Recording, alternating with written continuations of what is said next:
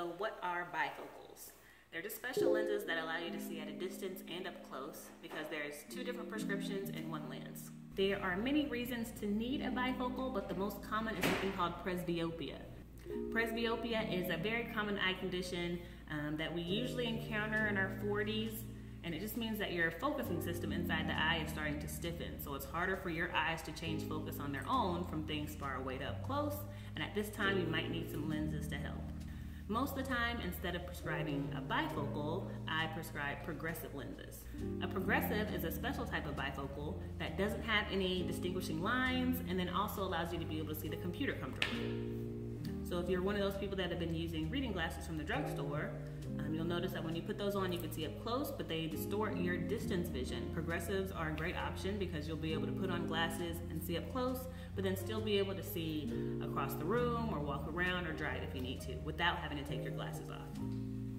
Or if you've been nearsighted your whole life and are noticing that now you have to take off your glasses to read or take off your glasses to see the computer, again, progressives are a good option. That way you'll be able to see everything no matter what distance it is without having to take your glasses off. Or if you've never worn glasses in your life and all of a sudden you're noticing that you're having to do this to see things up close, if your distance vision is getting a little bit blurry out of nowhere, eh, it might be time to get your eyes checked. Um, be wearing glasses all the time necessarily, but there's definitely probably some tools that I can prescribe you to make you more comfortable. So many times when I tell patients I'm prescribing them a progressive lens or a bifocal, I get questions of, are my lenses gonna look like Coke bottles? I've heard that they take a long time to get used to. I'm gonna have to move my head up and down like this